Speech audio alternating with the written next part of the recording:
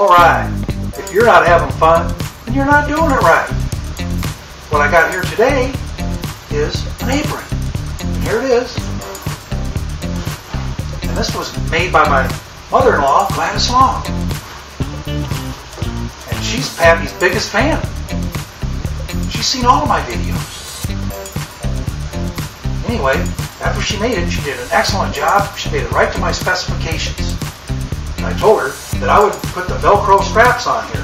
That's what I've got for around the neck. And around the back, I've got a strap cut here already, and that's what I wanted to show you. This piece here, I've already put Velcro on the ends of the strap.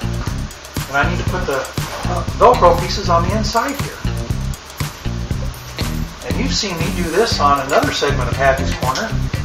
When I fixed my belt loop, I just took a stapler and I stapled my belt loop. Well, I'm going to staple this Velcro piece on here, just like that. And I've already tried it, so I know it works, because if I don't succeed, I run the risk of failure. This other one on.